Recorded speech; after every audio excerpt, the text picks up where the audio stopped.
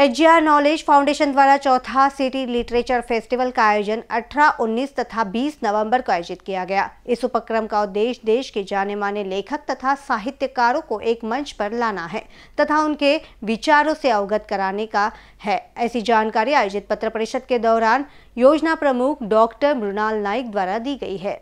इस महोत्सव का उद्घाटन दिनांक 18 नवंबर को शाम 6 बजे केंद्रीय मंत्री नितिन गडकरी, प्रसिद्ध सिनेतारिका निशिगंधा वार्ड के करकमलों द्वारा किया जाएगा तथा आकाश खुराना के पुस्तक का विमोचन भी किया जाएगा। इस अवसर पर रायसोनी समूह के अध्यक्ष सुनील रायसोनी भी उपस्थित रहेंगे। मनीषा तिवारी राधा कृष्ण पिल्लई, अविनाश धर्माधिकारी, करण ओबेराय, बरखा बेदी देबाशीष चटर्जी, सुष्मिता मुखर्जी नंदितापुरी भारत दाभोलकर, प्रहलाद कक्कर जैसे विभिन्न क्षेत्रों के कई प्रसिद्ध लेखक इस लीड फेस्ट का हिस्सा होंगे। इस फेस्टिवल में अनेक सत्र आयोजित किए जाएँगे, जो व्यक्तिगत साक्षात्कार, चर्चा सत्र तथा पुस्तक विमोचन के स्वरूप में होंगे। ऑरेंज सिटी लिटरेचर फेस्टिवल ये लिटरेचर फेस्टिवल है। नागपुर में इसका अभी फोर्थ एडिशन है। मतलब हम लोगों ने ये फेस्टिवल शुरू किया था 2019 में। और 2019 में पहला प्रयास होने के बावजूद भी सभी की तरफ़ से काफ़ी अच्छा रिस्पांस मिला था। स्पेशली मीडिया का काफ़ी सपोर्ट रहा था।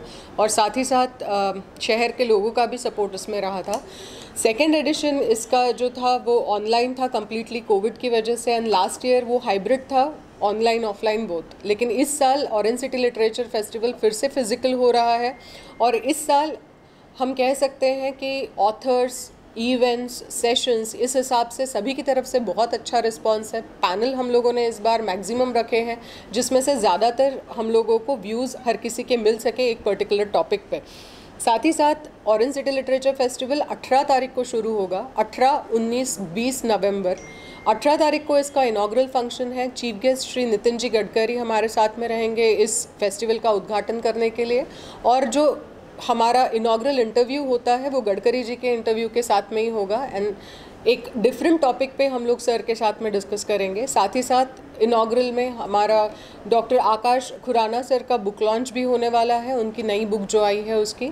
यह महोत्सव सुबह से शाम तक आयोजित किया जाएगा, जिसमें ओपन माइक म्यूजिकल इवेंट तथा शालेय विद्यार्थियों के लिए विभिन्न स्पर्धाओं का भी आयोजन किया जाएगा।